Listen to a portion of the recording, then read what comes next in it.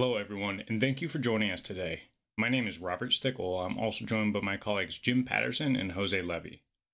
Jim and Jose will be today's presenters and discuss the topic of achieving more with business architecture and strategic portfolio management. This webinar is a new addition to our series of strategic portfolio management webinars, so if you enjoy this video, feel free to watch the others we have available on our channel and look towards the next installment, which we'll be releasing soon. And as always, I hope that today's presentation grants you some insight into the world of project and portfolio management and gets you excited for the new developments happening within the industry and here at OnePlan. Thank you again. I'll now turn the presentation over to Jim. Thank you, Robert, and welcome everybody. Um, we're excited to bring you this topic today.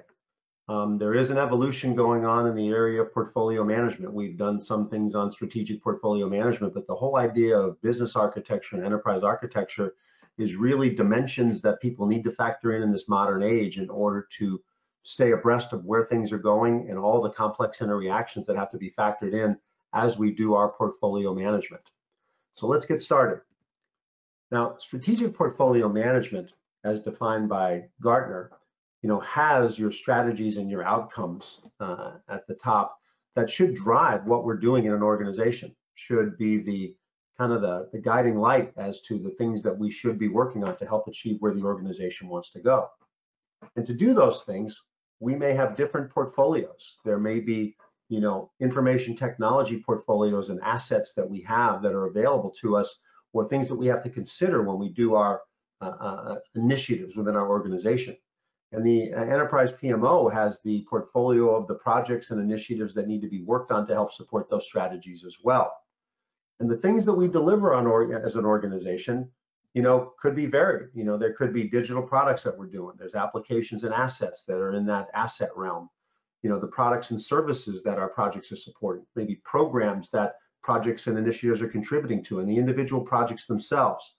So there's a lot of different components to this that need to be factored in. It doesn't matter what method you're using, whether it's, you know, an agile or a DevOps type of approach, whether it's traditional project and program management, or it's just product development and um, and and that type of process or you know product lifecycle management that you're doing. They all feed and should contribute to uh, the overall strategy and outcomes that the organization is looking for.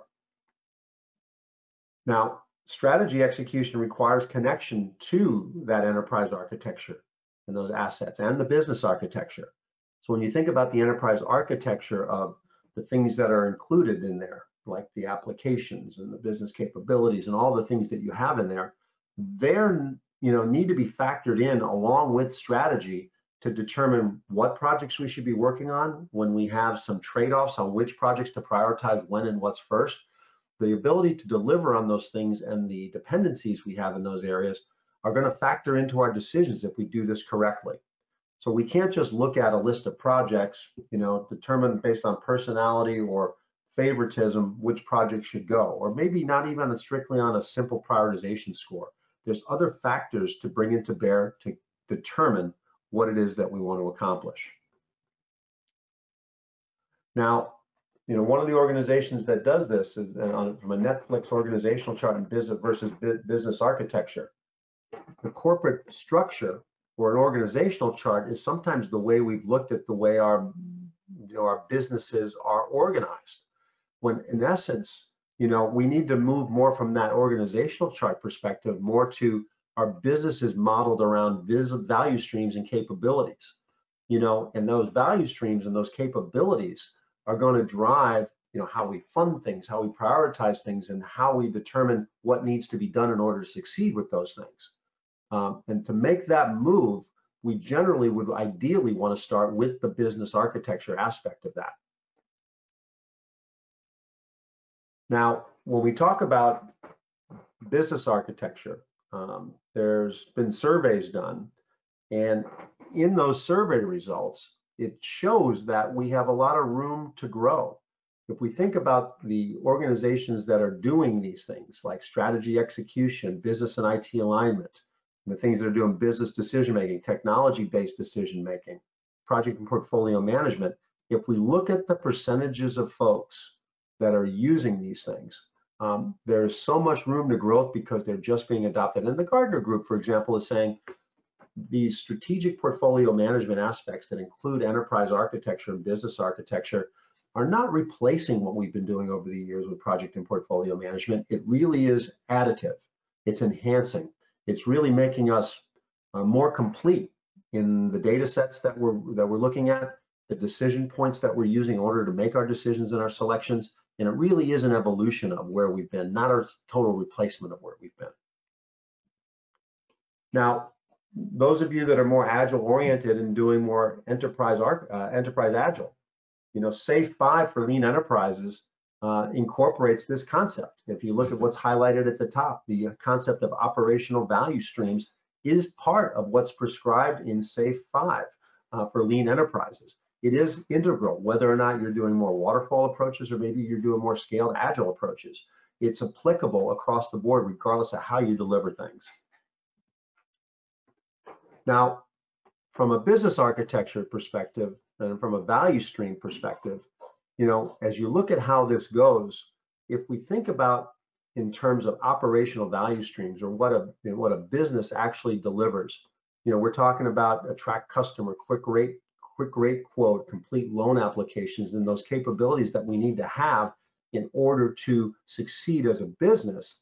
Those in and of themselves is a value stream that we need to um, uh, deliver on and actually get better at if we're going to improve as an organization.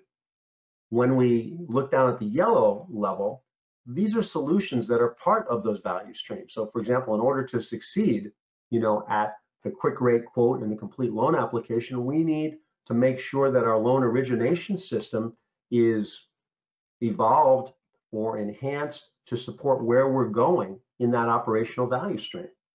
And down below, if we look in the gray, these are development value streams. So as we look at the evolution or the development of this loan origination system, the value stream of the things that we need to provide on an ongoing continuous basis towards this loan origination system would uh, be down here at this development value stream. So um, the above is what you really need to be modeling and evolving over time.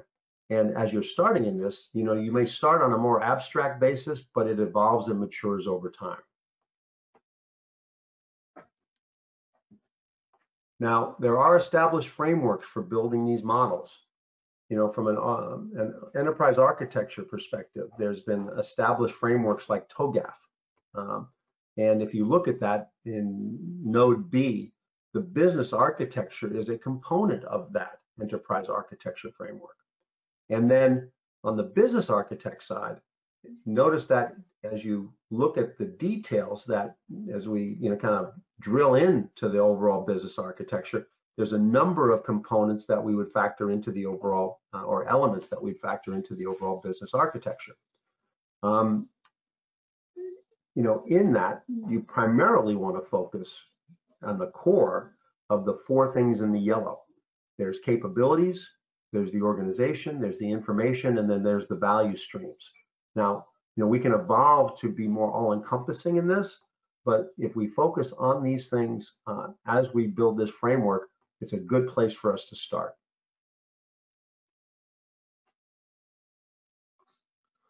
Now, if we look at business architecture from a more macro perspective, we look at moving from the current state enterprise model over to the future state enterprise model um, we have all these uh, different components that are here. You know, initiative investment analysis, shift to customer-centric business model, merger and acquisition analysis, new product rollout.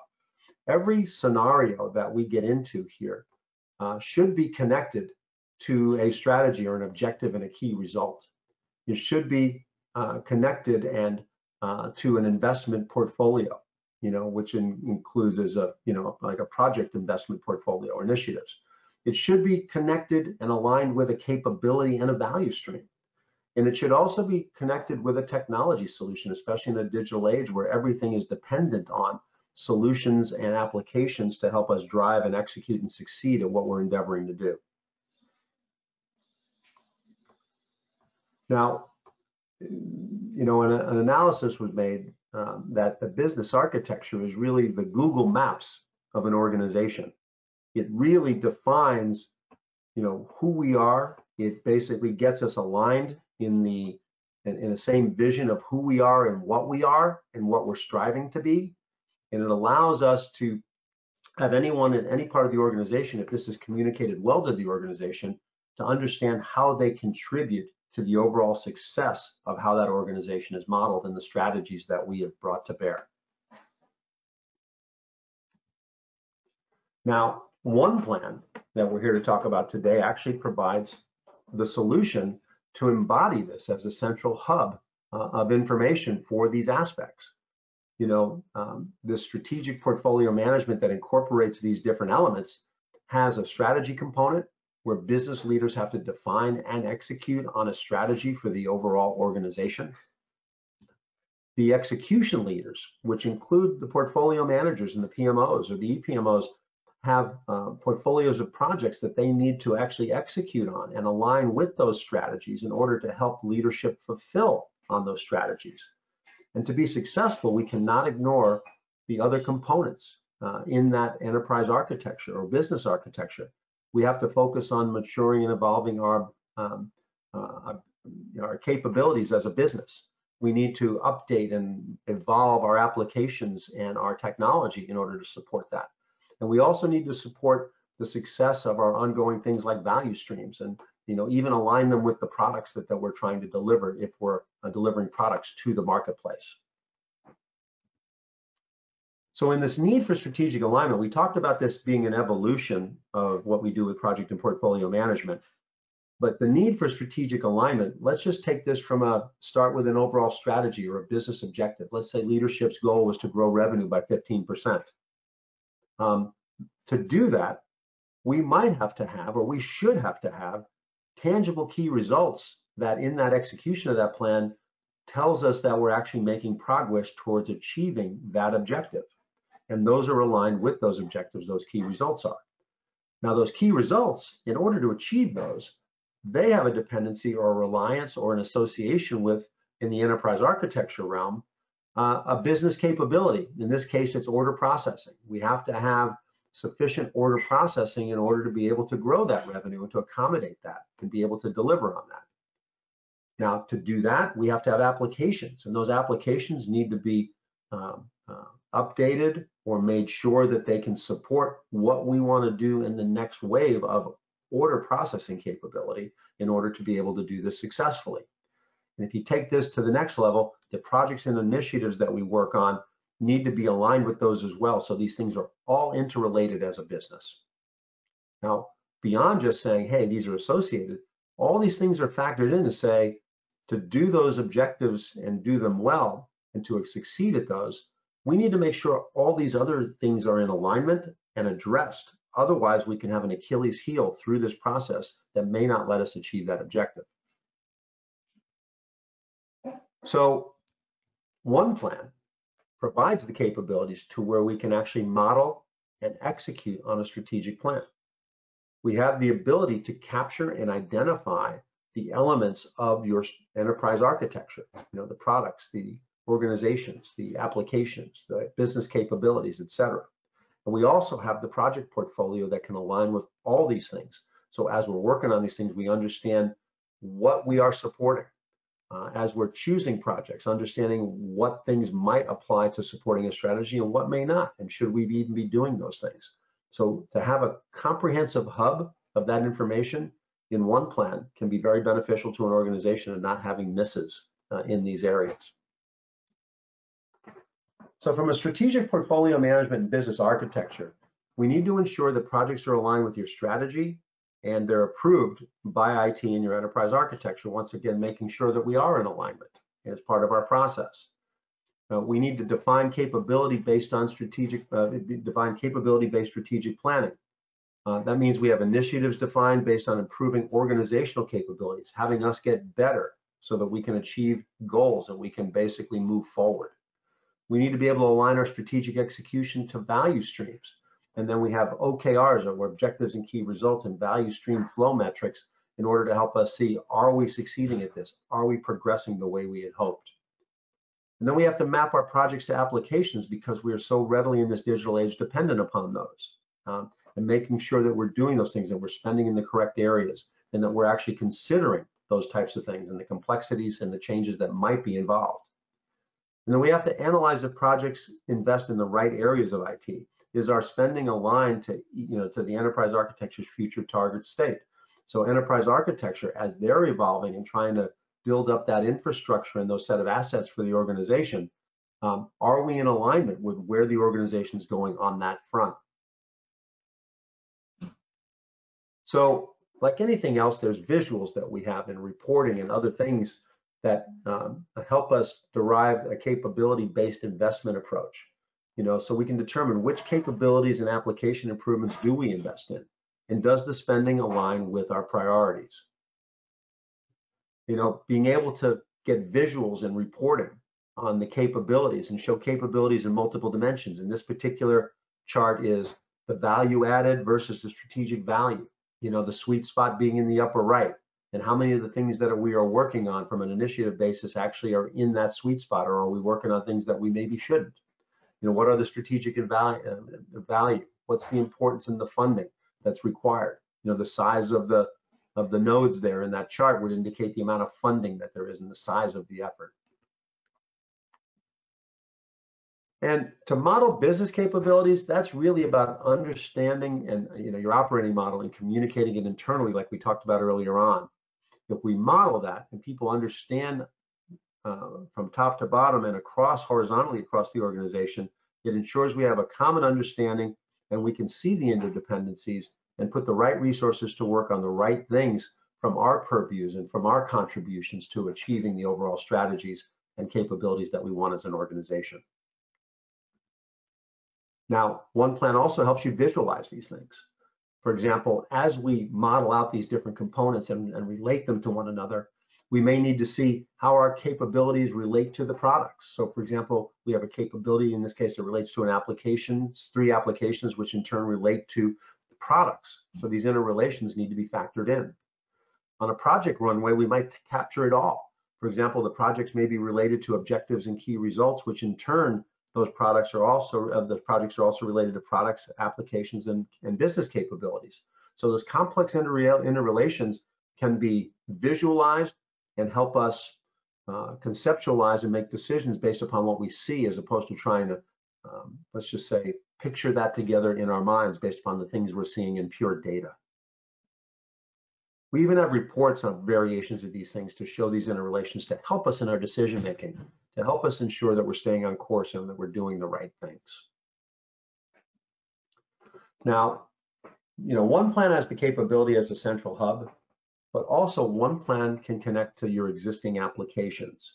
So if there's other applications that feed any of your other portfolios, whether it be your project portfolio, whether it be your enterprise architecture and portfolios that are in there, whether it be your strategic portfolio, uh, we have uh, a productized connector platform called OneConnect that allows you to bring in data from other software development tools, financial systems, service management tools. And maybe more most applicable here today is the idea of uh, tying off to enterprise architecture tools that you may already have or repositories of data you may already have so we can leverage what you own. The same things hold that people are using other tools for strategy execution as well. We can leverage what you have, but bring it all together into a central hub into OnePlan so we can factor in all these dimensions. And I guess the last part on this, as far as OnePlan, it is built for the Microsoft Cloud, meaning um, we authenticate the same way your Office 365 does using your Azure Active Directory, so you're in full control of that. But you can use it in, in the browser just very simply, your favorite browser. But we also can surface it through Power Apps because we have a, a fused experience within Power Apps. We can use it in Teams because we're an authorized Microsoft Teams application. We can actually look at it in things like Azure DevOps as people are doing software development. You can actually leverage the OnePlan capabilities while you're in Azure DevOps, not just share data, but actually use it while you're in Azure DevOps. And the same holds true with things like Dynamics and with SharePoint. The key is you have um, user experience options in here. Once again, the browser is fine, but the idea here is that there's flexibility in this Microsoft platform. So with that, I thought I'd transition over to Jose Levy, who will give us a demonstration of some of these things in action in OnePlan. Thank you, Jim. Okay, so I'm in OnePlan and to summarize what Jim has presented, the strategic portfolio management approach, which really has, you know, three use cases, uh, it tells us that we have to focus on strategy execution, and I'm showing here within OnePlan how we represent that.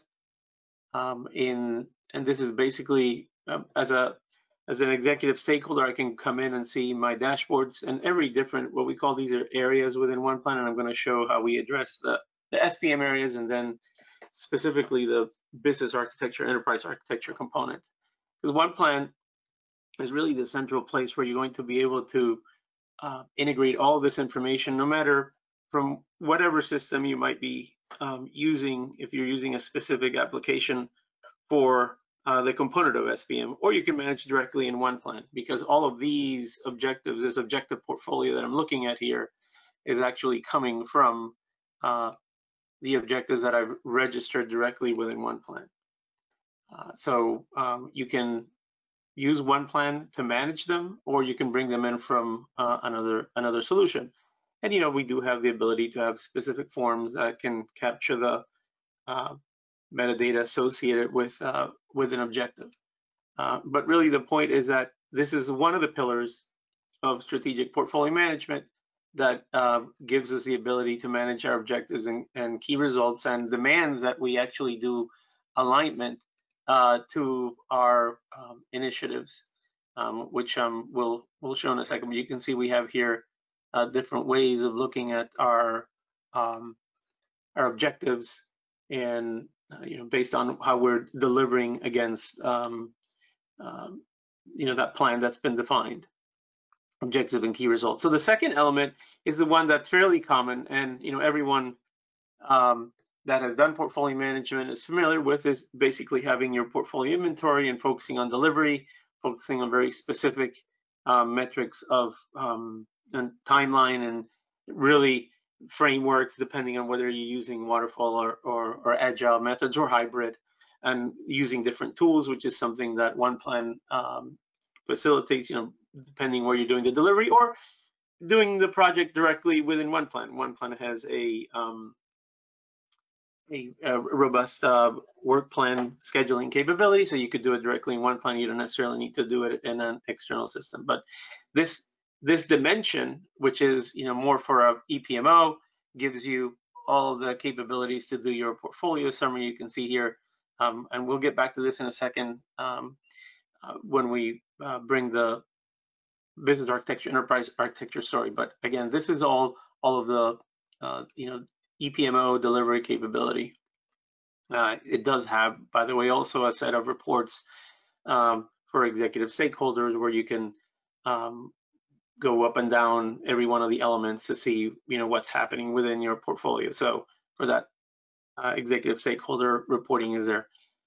The third component is you know enterprise architecture. That's the one where we're we're right now uh, we've highlighted that becomes a common language for transformation, if you will, because uh, it is the way that we're going to model uh, the organization um, and how we deliver value and how we invest. We invest in capabilities. Um, we build products that uh, deliver value to our customers, and um, you know solutions and products are um, are part of the enablers of, of the value stream um, and of our capabilities. So, and you know, it, if we go down to a, lower level within our enterprise architecture, again, we have uh, uh, technology, data, and infrastructure, so that our applications are being shown here um, in terms of what we're managing. Now, we recognize that organizations might have an existing uh, enterprise architecture repository. If you do not, we can we have one and we can link to um, any really that are in the market through our uh, integration platform.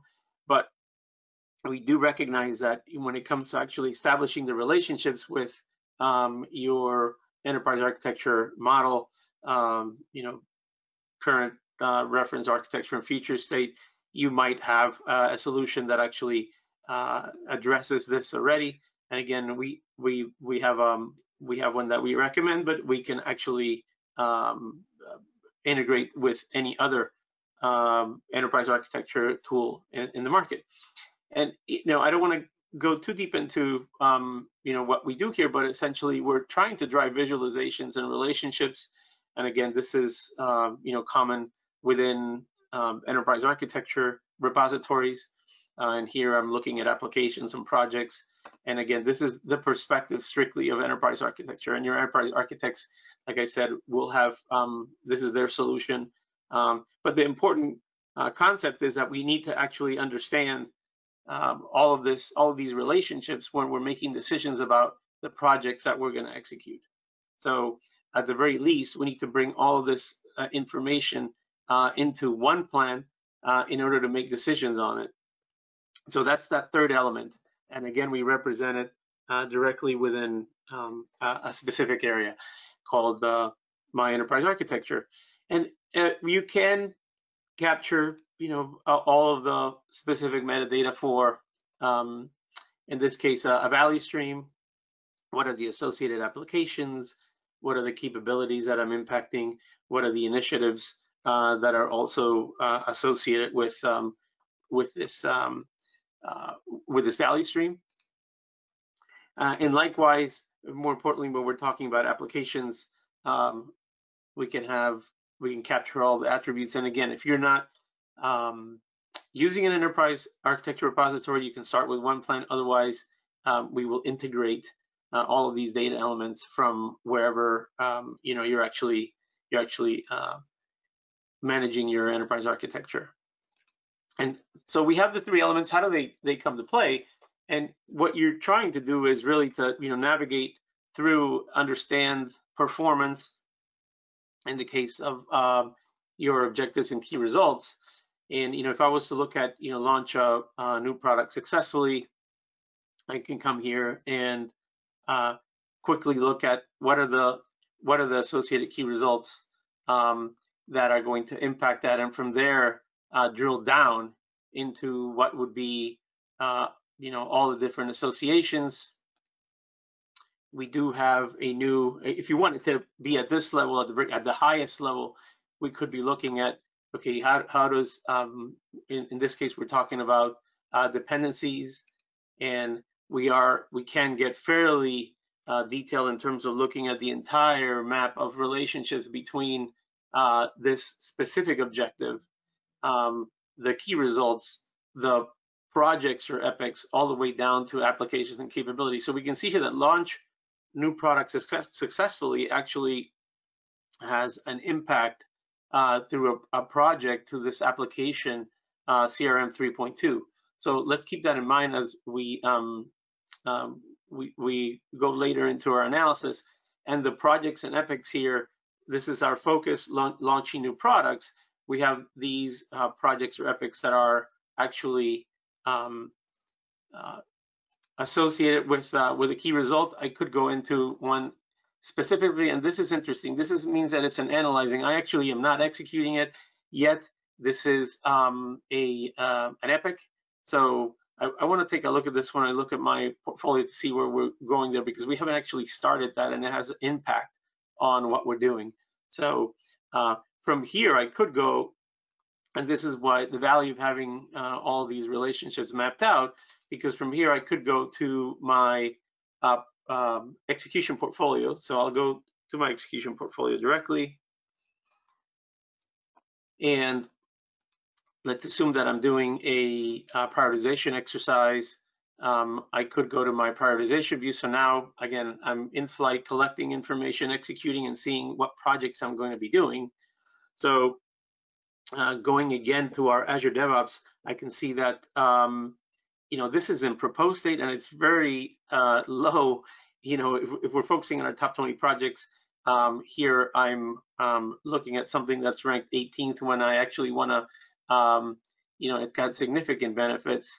I want to see if I can, um, can we actually execute uh, this initiative or maybe, you know, what's the, what's the impact of not doing it? Uh, because right now, again, it's, it's in proposed. I could come in here again after analysis and change it to active and that can trigger you know actions by uh, the rest of the organization in um, in actually you know delivering uh, the uh, the initiative. You can see here that it's in Azure DevOps also, which means that if I wanted to open up and see uh, the detail behind it in Azure DevOps, I can do that. Or um, again, it's proposed. So there's some, uh, you know, probably epic hypothesis, uh, lean business case that's been done, and I can actually see the information. Again, this came from uh, Azure DevOps because it's being done in Azure DevOps. So I went from a very high level to seeing something very specific that it's in, in a proposed state that um, you know could ha could have an impact. I could further, again, uh, going from again from the very top into uh, a business architecture element, uh, look at you know what are the applications that it's impacting. So if we don't do, uh, if we continue to maintain Azure DevOps in a proposed state, these are the applications that we could be impacting.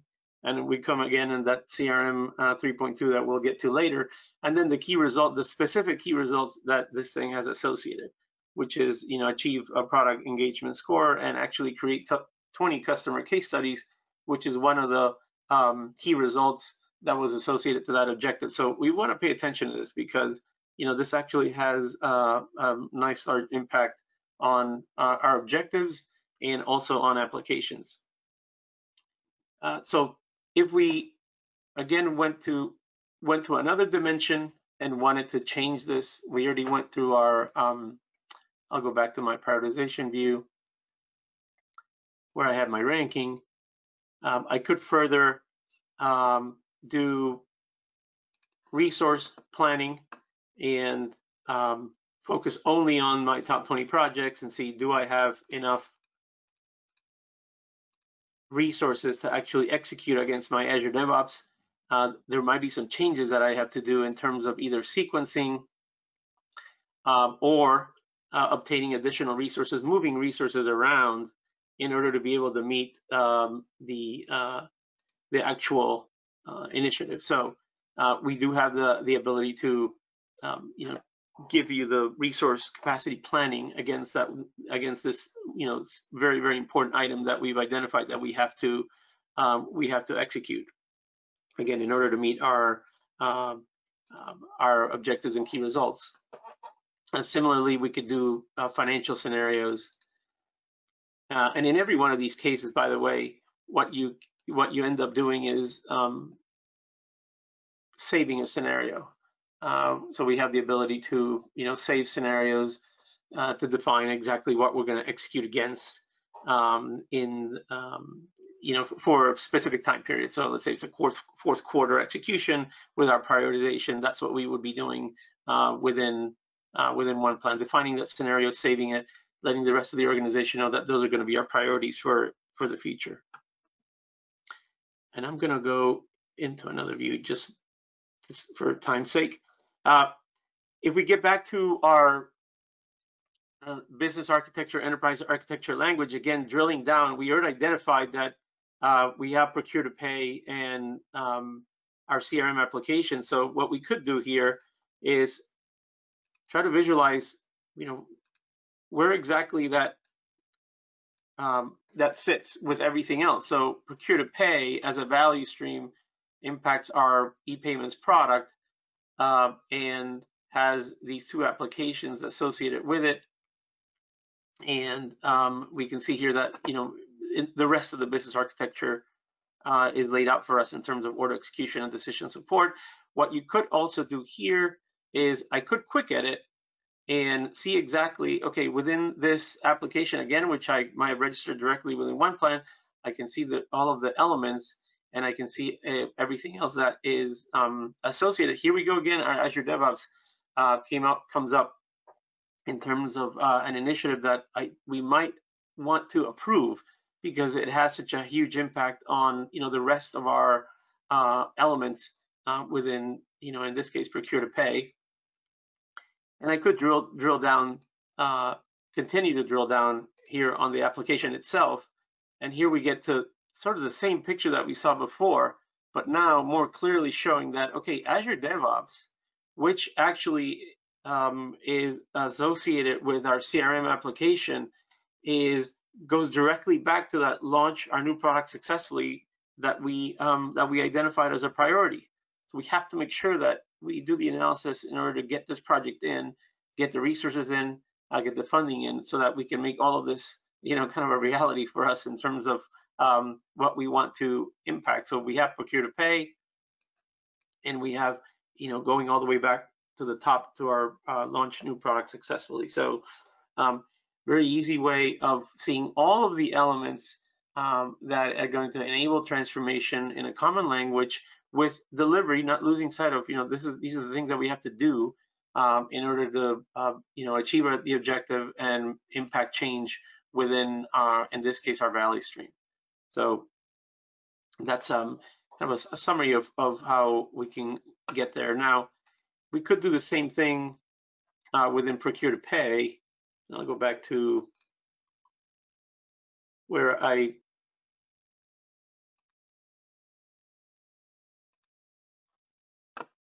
I could make changes directly here, by the way, in terms of um, you know managing um, the elements of the value stream. So uh, it, again, it's the ability to uh, establish those relationships and then go across any of uh, the elements of uh, your business architecture, enterprise architecture, in order to make decisions on um, your uh, your portfolio.